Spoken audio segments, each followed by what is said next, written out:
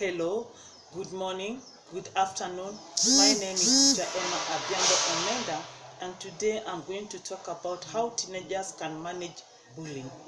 Bullying occurs when words or actions are repeatedly used to harm someone's well being. Bullying is deliberate behavior.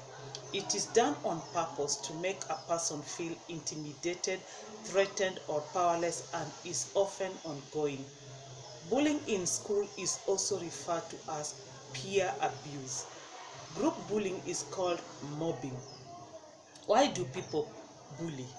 To feel powerful and in control, to cope with unhappiness or anger, peer pressure, having little empathy for others, to deal with self esteem and confidence issues. What bullying looks like nasty looks and teasing, name calling, spreading rumors or lies about someone, physical intimidation or harassment, targeting a person's sexuality, religion, race, gender, or disability, singling a person out to make them feel alone or different. Types of bullying physical bullying, verbal bullying, psychological bullying, cyberbullying are types of bullying. What are the effects of bullying? Bullying can make teens feel afraid, stressed, depressed, or anxious, have thoughts about suicide or hurting themselves, have trouble with their schoolwork, have problems with mood, energy level, sleep, and appetite. What kind of people are bullies? Bullies may be outgoing and aggressive, quiet and sneaky, friendly and fake. Many bullies are a lot alike. They like to be in control of others, are focused on, on themselves, have poor social skills, and have a hard time getting along with people, might not care about people or lack empathy, are often insecure and bully others to make themselves feel better. Some bullies do not understand normal social emotions like guilt, empathy, compassion, or remorse. These people need help from a mental health professional like a counselor, social worker, psychiatrist, or psychologist. What can you do? Tell what can you do if you're the one who is bullied? Tell a trusted adult in authority like parents, teachers, or coaches who can deal with bullying without the bully ever learning how they found about it. Ignore the bully and walk away.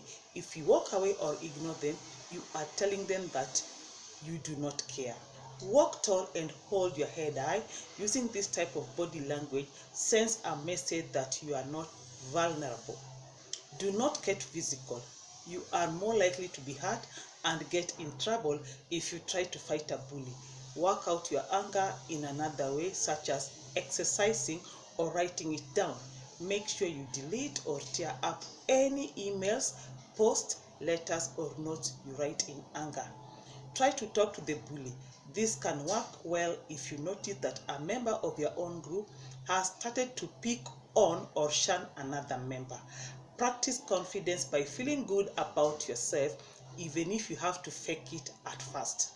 Talk about it to a guidance counselor, teacher, or friend, or anyone who can give you the support you need. If you have been bullied with rumors or gossip, tell your friends so that they can help you feel safe and secure. Avoid being alone, especially when the bullying is happening a lot. Stand up for friends and others you see being bullied.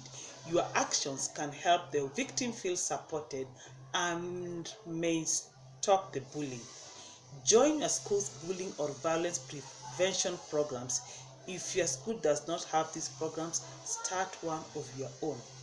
If you're truly if you're a bully, try talking to a trusted adult about why you have become a bully. Mm-hmm. Ask them for some advice on how you could change.